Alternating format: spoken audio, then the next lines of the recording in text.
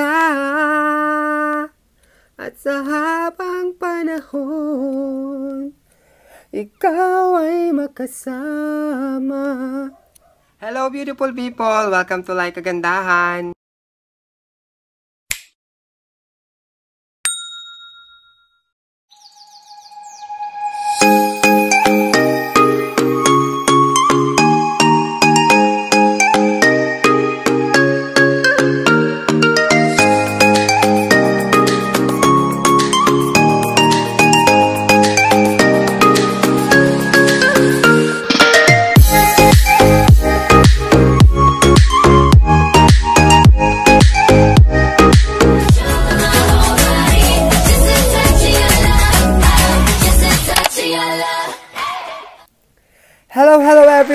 Everyone! Hello Lighters! Welcome back sa aking channel.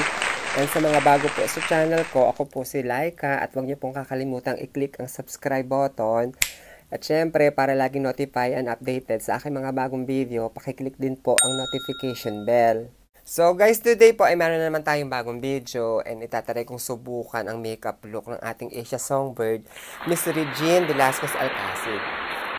So, ayun na nga guys. Sana ay makapag-transform ako as songbird. Sana ay makaya ko. So, mag-start tayo mag-makeup. Mag-start tayo sa kilay.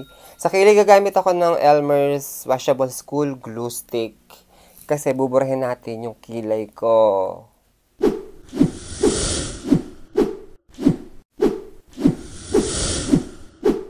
So, ayan guys. Nalagyan ko na siya ng dalawang layer ng glue stick. And then, konting dry lang. Tapos, lalagyan natin ng powder.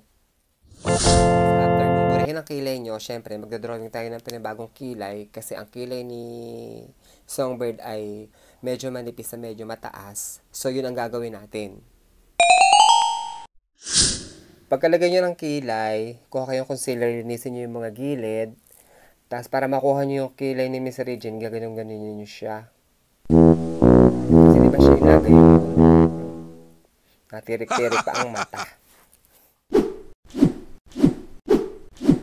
Guys, tapos na ang ating kilay. Nalinis ko na yung mga gilid. And then mag-eyeshadow na tayo. So, ang mata ni Miss Regine ay medyo pataas. Sana ay magawa kong pataas yung mata ko. And wala akong eyeshadow primer. So, gagamit ako ng concealer para sa ating eyeshadow primer. Tapos guys, didiretso na ako sa aking eyeshadow. Dito lang natin siya lalagyan sa ating outer corner. Hindi natin itataas sa ating brow bone. So, gumamit ako ng medyo brownish na orangey. Kukuha ko ng darker color gaya ng black. Then, ipapatong natin sa una nating nilagay. Ipapasok natin ng konti sa ating eyelid. Yung dark na nilagay natin sa taas, lalagay din natin dito sa ating lower part ng ating mata, sa ating lower lash line. At huwag niyong isasagad hanggang dito, hanggang kalahati lang yung black.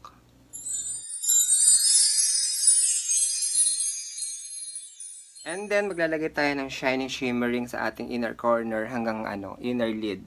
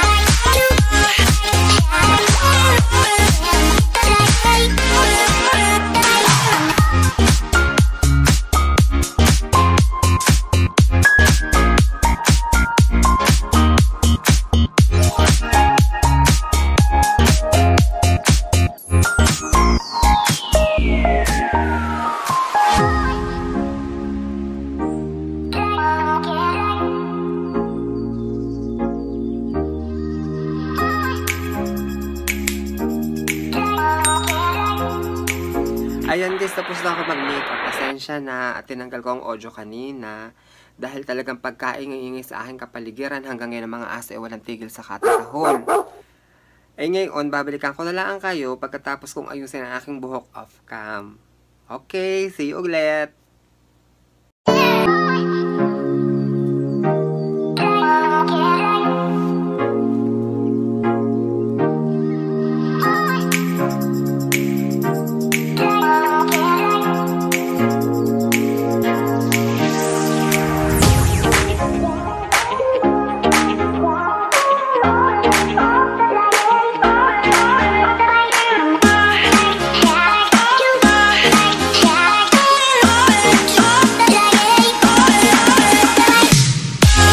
All for today guys. Maraming maraming salamat po sa mga nagstay at tinapos po ang video. Thank you, thank you po. At sa mga bago po, huwag kakalimutan po mag-subscribe sa aking channel.